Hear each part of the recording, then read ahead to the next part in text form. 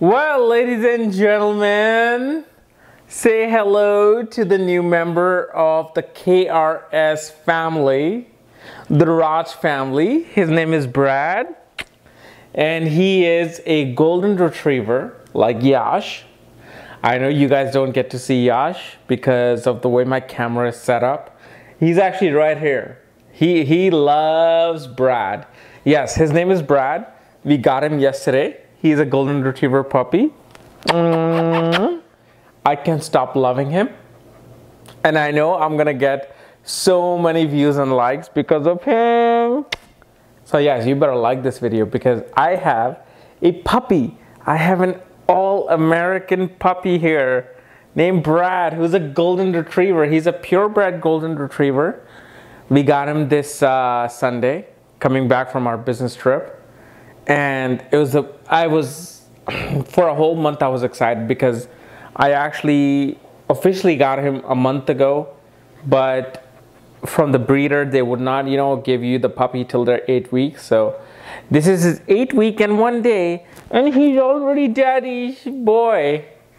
He and Yash sleep exactly the same way and it is just amazing. He's exactly like Yash. Exactly like Yash. So yes, say hello to Brad.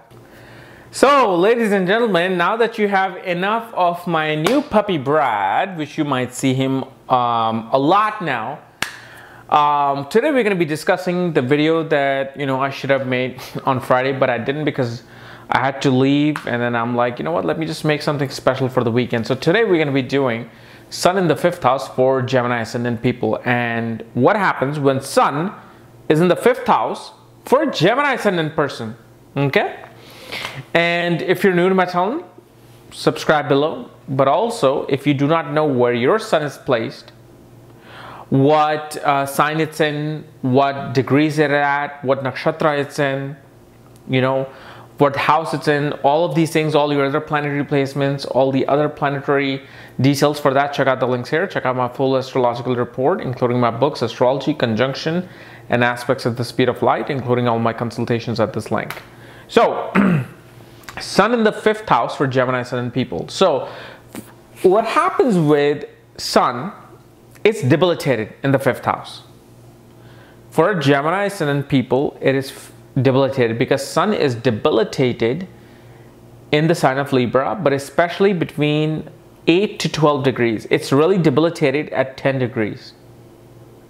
According to our ancient saints and rishis, sun is debilitated uh, at 10 degrees and it's exalted at 10 degrees in the sign of Aries. So for Gemini sun person, the fifth house is ruled by the sign of Libra. So when sun comes in here, it loses its power. But that's actually a lot different now with new age. If we were living in 1940s, if we were living any time before, let's say even the 1980s, this sun, debilitated sun, would, you know, not give you the results that it will in this time period. In this time period, you may actually enjoy a debilitated sun in the fifth house.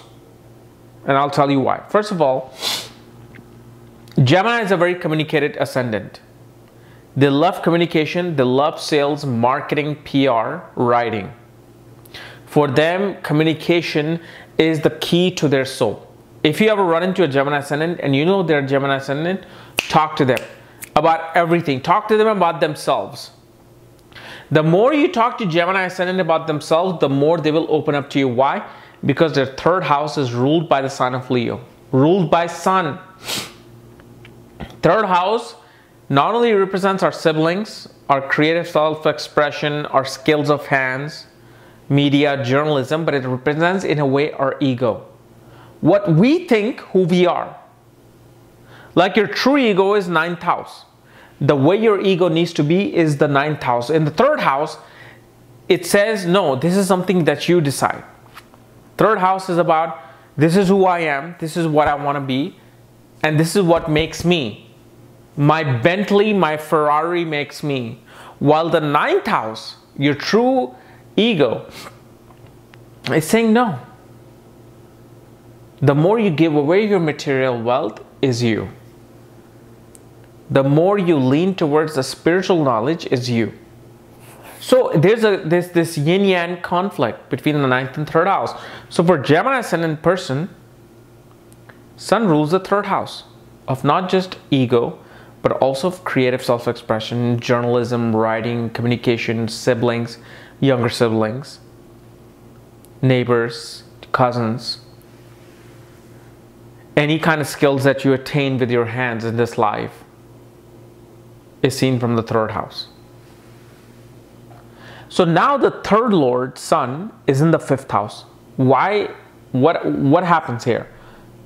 It's actually the same position.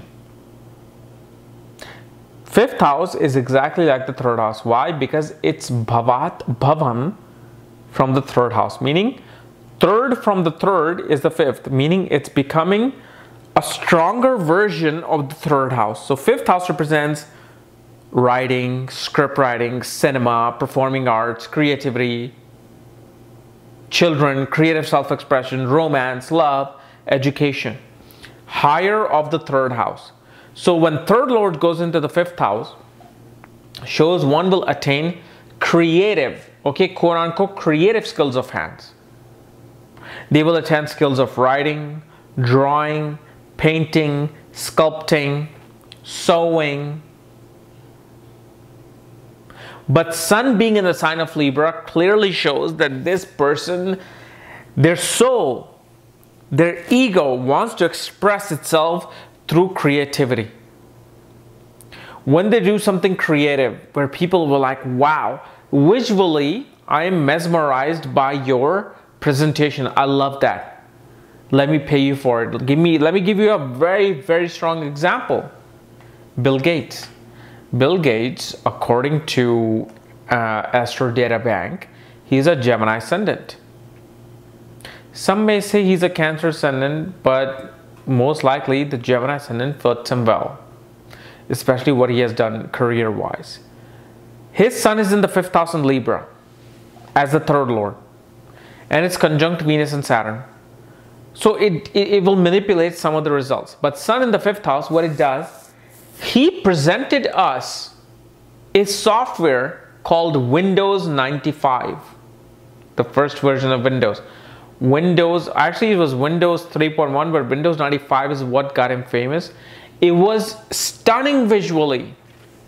I remember when we got a computer in our house, our family computer back in 1994 or 5 with Windows 95.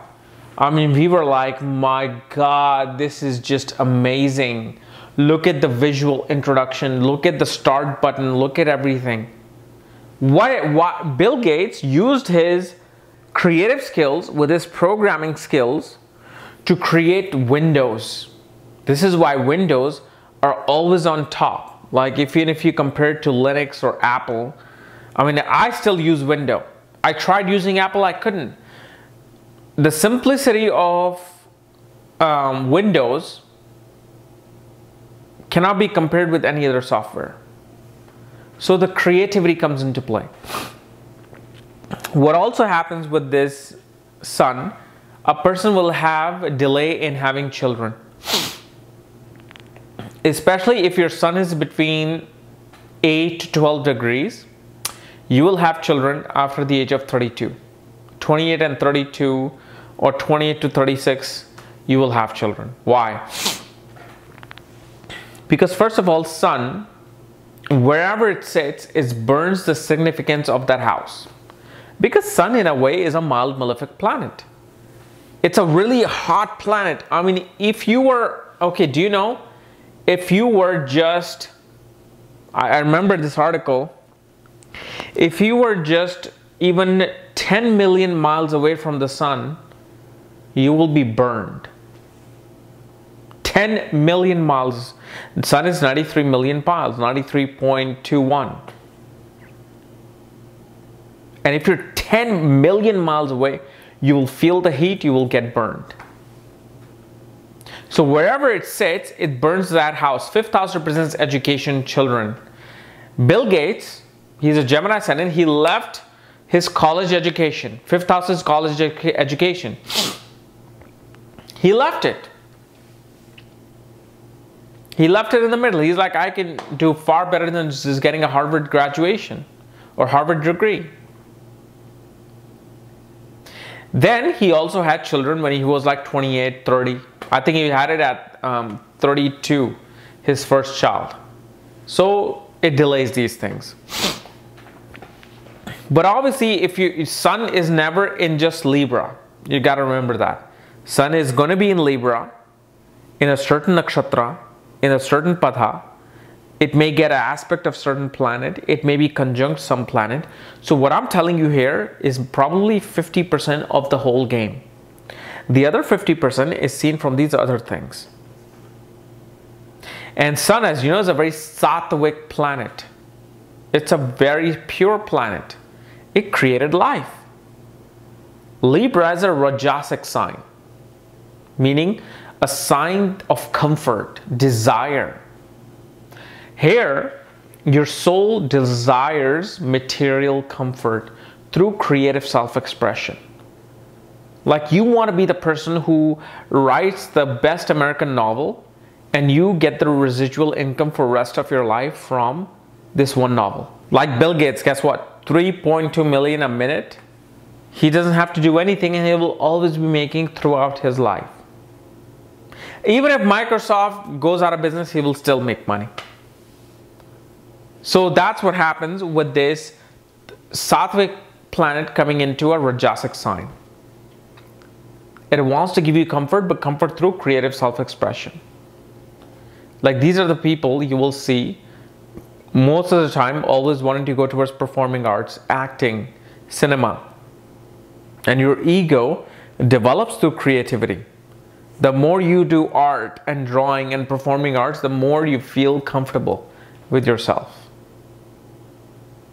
So that's what Sun does for Gemini Ascendant as a third lord. Okay. So guys, this was my analysis of Sun in the fifth house for Gemini Ascendant person. If you're new to my channel, subscribe below. And again, if you want to know where your sun is placed, all your other planetary placements, all the other details, for that, check out the links here. Check out my astrological report, my books, and my consultations. Otherwise, we'll see you tomorrow with our conjunctions. Bye-bye.